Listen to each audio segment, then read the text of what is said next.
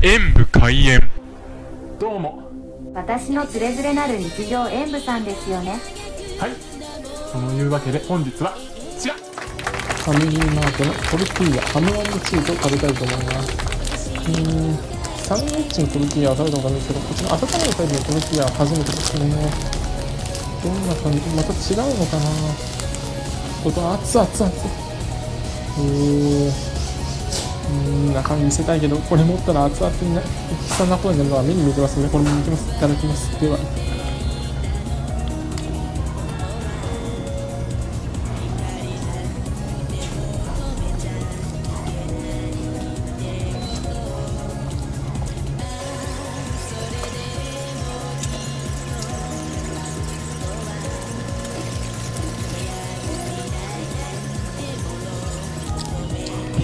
味が待ってほんのりとろけたチーズがもっちりとした生地の中にあるハムの弾力とよく合っていてとっても美味しかったです。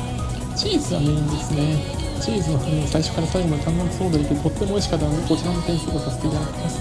ご視聴ありがとうございました。コメントしていただけると嬉しいです。エンドでパソコンおよびスマートフォンのアプリの方はクリックをお願いします。